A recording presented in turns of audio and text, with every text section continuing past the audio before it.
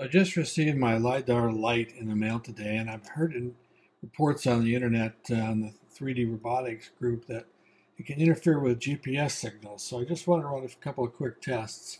I've got it wired up here, just powering it up with a 1K resistor from pin 3 to ground.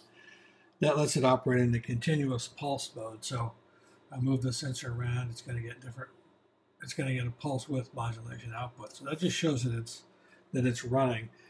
I'm going to put my spectrum analyzer on it and set it to auto mode.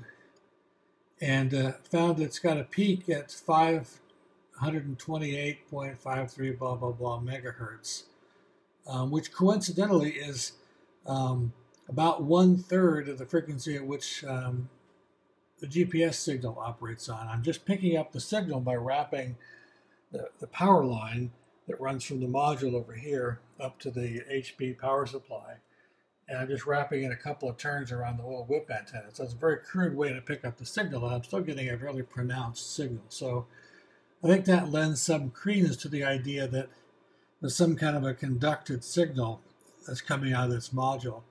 No idea that the LIDAR-Lite would need to operate up in this kind of frequency range, but I guess with the resolution it's providing, it's got some fairly high frequency components on it. This isn't conclusive proof of anything, but I do find it interesting um, and maybe a subject for further investigation.